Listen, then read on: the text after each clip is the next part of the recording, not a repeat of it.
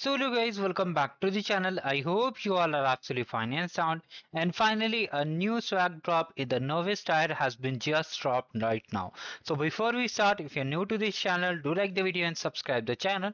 And let's come to the swag drop post. So here is our new post regarding the new swag drop. So as you can clearly see, it's a cool t-shirt with different color.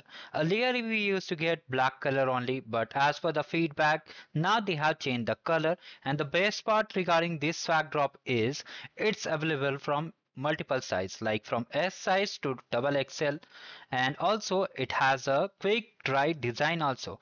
So whether you are just studying working out or just wearing it as usual it will dry very fast. So here you can see it's placed in the novice tire.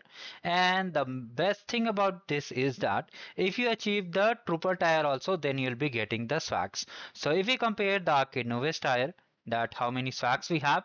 We have a cool bottle that is around 500 ml and secondly is the cool swag that is the cool t-shirt. So here the novice tire is here completed and more swags may be added very soon. And regarding the trooper tire as i said earlier all the swags which are present in a novice tire will be added in a trooper tire. That does not mean trooper tire will have same swags complete same swags Trooper tire will have additional swags also do not worry about it. And many of you are asking that will the swags in the novice tire added on the legend tire also? So the answer is no. There will be some cool special things in the legend tire. So stay tuned do subscribe the channel do like the video and do hype the video. Secondly if you are starting just now hurry up because november games are ending very soon. Complete all the challenges so that you don't miss the chance to earn exciting google cloud goodies. So this was the quick thing i wanted wanted to share regarding the swag drops. For a complete solution, you can check the description and master sheet.